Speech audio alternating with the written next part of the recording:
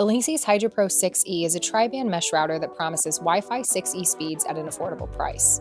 With up to 6.6 gigabits combined speeds, a 6 gigahertz band for less congestion, and a user-friendly app, it sounds like a dream for remote workers, gamers, and streamers alike.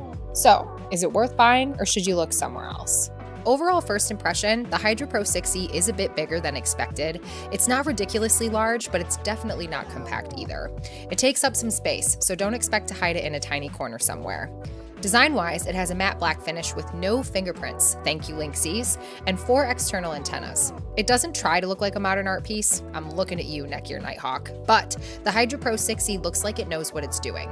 It's built like a performance drive powerhouse rather than a decorative Wi Fi cube and gives off I will eliminate dead zones energy. As for specs, it's a tri band Wi Fi 6E router with an AXE 6600 speed rating and offers three frequency bands 2.4, 5, and 6 gigahertz, which is great for more bandwidth, stronger signal, and faster data transfer to your smart home and bandwidth heavy devices. It is a mesh router so this means you can set up multiple nodes in your home to give a stronger signal in other areas of your residence. For this review, however, I only stuck with one. It also covers up to 2,700 square feet and includes smart home connectivity and parental controls, which is awesome. For around 150 bucks on Amazon, the HydraPro 6E is the best budget pick if you're looking to get into Wi-Fi 6E routers. Now, onto the installation. Since I didn't have the additional mesh nodes to deal with, the total setup time took roughly 13 minutes, which honestly, not bad for a device promising next-gen Wi-Fi speeds. You'll need to download the Linksys mobile app to complete the setup, but I found it to be a surprisingly awesome experience. Overall, there were no head-scratching moments and the app held my hand just enough without being annoying.